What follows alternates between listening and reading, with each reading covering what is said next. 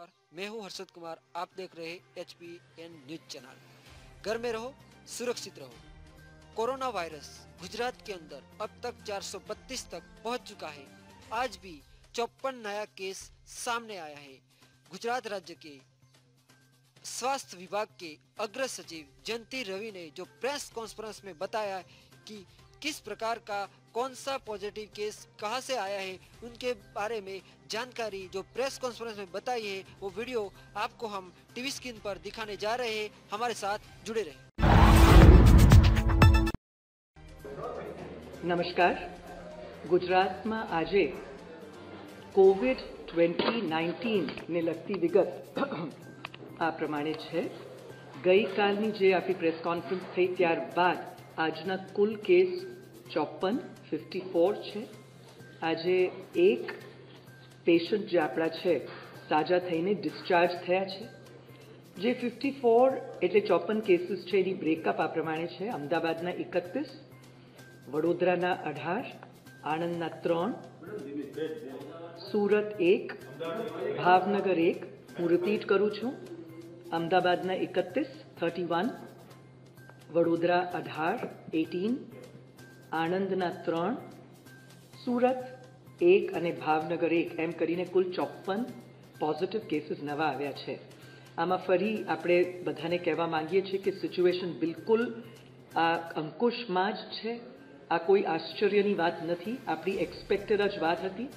આપણે ડિસાઇડ કર્યું હતું, આપણી એક વ્યૂહરચના હતી ચારેક દિવસ પહેલાં કે આ રીતે જે જે આપણા હોટસ્પોટ્સ છે કે જેની અંદર મોટી સંખ્યામાં કેસીસ આપણે જોવા મળવાની એક સંભાવના હતી. આપણું અનુમાન જ હતું કેમ કે ત્યાં ક્લસ્ટરિંગ થયું હતું.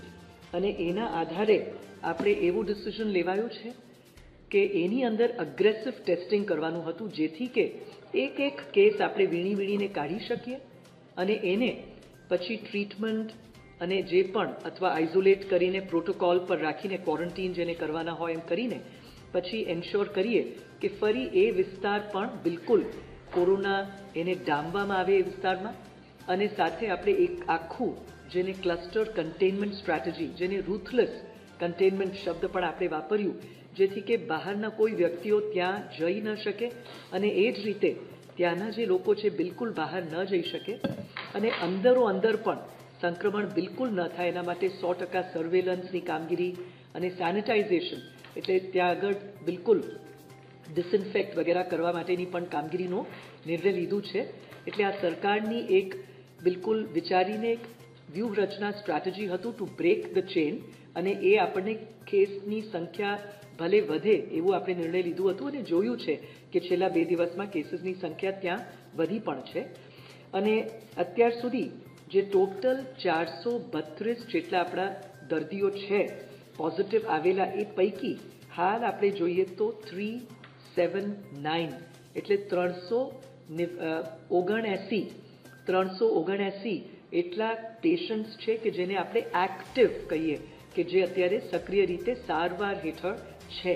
એ પૈકી ત્રણસો છોતેર થ્રી સેવન સિક્સ એવા લોકો છે કે જે બિલકુલ સ્ટેબલ છે. એટલે કાં તો રૂમ એર પર છે આપણી જેમ અથવા ઓક્સિજન પર છે સિમ્પલ પણ એમાં ત્રણ એવા લોકો છે કે જે વેન્ટિલેટર પર છે, જેને આપણે કહી શકાય કે થોડાક ક્રિટિકલ છે. અને ડિસ્ચાર્જ થઈને આજ દિન, આજના એક સહિત ચોત્રીસ લોકો ગયા છે સાજા થઈને. પછી જે ટેસ્ટ ટોટલ થઈ છે એની સંખ્યા જોઈએ, તો આ એક બહુ જ એક મોટી સિદ્ધિ છે કે છેલ્લા ટ્વેન્ટી ફોર આવર્સ દરમિયાન આપણે જે ટેસ્ટ કરી છે ટોટલ જે ટેસ્ટ કર્યા છે વન ફાઇવ નાઇન થ્રી, એટલે પંદરસો ત્રાણું. એટલા ટેસ્ટ કર્યા. એમાંથી negative one one eight seven આવ્યા છે. એમ કરીને જે પોઝિટિવ છે વન ટ્વેન્ટી ફોર, એકસો ચોવીસ જેટલા કેસીસ આપણા પોઝિટિવ આવ્યા છે. અને જે પેન્ડિંગ છે બસો બ્યાસી, ટુ એટી ટુ. અને એ જ રીતે અત્યાર સુધીના કુલ આપણે જે ટોટલ ક્યુમ્યુલેટિવ ટેસ્ટ અત્યાર સુધી જે કર્યા છે આઠ હજાર ત્રણસો એકત્રીસ ટેસ્ટ કર્યા છે. એમાંથી ચારસો બત્રીસ ટેસ્ટ જે છે પોઝિટિવ આવ્યા છે એટલે ટોટલ આપણું અંક છે નેગેટિવ સાત હજાર છસો સત્તર. એ રીતની માહિતી છે. એટલે એમાં પણ આપણે જે ટેસ્ટ પર મિલિયન પોપ્યુલેશનના પણ આંકડા આપીએ, so it is a very good number જે હમણાં આપીશું આપને. અને એ જ રીતે જે પોઝિટિવનું પણ પ્રમાણ છે, એઝ યુ કેન સી એકસો એક હજાર પાંચસો ત્રાણું પૈકી માત્ર એકસો ચોવીસ પોઝિટિવ આવ્યા છે. એટલે it is a very small fraction of it દસ ટકાથી પણ ઓછા કેસીસ અને આ સમજવાની વાત છે કે બધા હોટસ્પોટના જ વિસ્તારોના આ બધા હતા જ્યાં આપણું અનુમાન હતું કે ટેસ્ટ કે કેસીસનું સંક્રમણ વધ્યું છે. હવે ગઈકાલે આપણી કોર ગ્રુપમાં જે હાઈ પાવર કમિટી આપણી હોય છે, માનનીય મુખ્યમંત્રી શ્રી વિજય રૂપાણી સાહેબ જેમની અધ્યક્ષપણામાં આ મિટિંગ્સ થતી હોય છે રોજે રોજ, સાંજે. તો એમાં આપણા માનનીય ડેપ્યુટી સીએમ સાહેબ પણ, માનનીય નીતિન પટેલ સાહેબ પણ હોય છે અને બધા વરિષ્ઠ અધિકારીઓ એમાં હોય છે. એની અંદર ગઈકાલે એક અગત્યનો નિર્ણય એ પણ લેવામાં આવ્યું છે કે જે જે જિલ્લામાં અત્યારે નથી, હજી પોઝિટિવ કેસીસ આવ્યા. એટલે એમાં આપણે ભૂલે ચૂકે ભ્રમમાં તો ન રહીએ કે ત્યાં બિલકુલ કેસીસ નથી અને બની શકે કે ખરેખર ત્યાં કેસીસ ઉપલબ્ધ છે કે આવ્યા છે. એને માટે એક બિલકુલ નવી સ્ટ્રેટેજી પ્રોએક્ટિવ સામે ચાલીને આપણે આ તમામ જિલ્લામાં સો સો કેસીસ આપણે ચેક કરવા અને એમાં પણ જે આઈસીએમઆરના ગાઈડલાઇન્સ છે, જે સારીના કેસીસ છે આઈએલઆઈ ઇન્ફ્લુએન્ઝા લાઇક ઇલનેસ એટલે ફ્લૂ જેવી બીમારીઓ વગેરે છે, એ બધું લેવાનું પણ આપણે એક નિર્ણય લીધો છે અને ગઈકાલે જ બધા કલેક્ટર્સને આ સૂચના આપી દીધી છે અને આજ સવારથી આ પ્રક્રિયા પણ શરૂ કરી દેવામાં આવી છે. તો આ રીતે ફરીથી કહેવા માંગીએ છીએ કે ગુજરાતમાં પરિસ્થિતિ બિલકુલ કાબૂમાં છે. પણ આપણે ઈચ્છીએ છીએ કે આ બધા આ જ રીતે જે લોકડાઉનની અંદર મોટા ભાગના લોકોએ સંપૂર્ણ રીતે આમાં શિસ્તબદ્ધ રીતે આપે અનુપાલન કર્યું છે અને જેટલા હોટસ્પોટ્સ છે એમાં પણ એન્શ્યોર કરીએ કે આ સંક્રમણ ન થાય એ બહુ જરૂરી છે. આજે જે વસ્તીના આધારે આપણે કહેતા હોય છે કેટલાક ટેસ્ટ પર મિલિયન મિલિયન એટલે દસ લાખ. તો આજે આઠ, આપણે જે વાત કરી હમણાં ટોટલ આઠ હજાર ત્રણસો એકત્રીસ ટેસ્ટ કરી છે. અને એને આપણા વસ્તીના દસ લાખ પ્રતિ દસ લાખ એનું ગણીએ, તો એકસો બત્રીસ જેટલા ટેસ્ટ પ્રતિ મિલિયન થાય છે.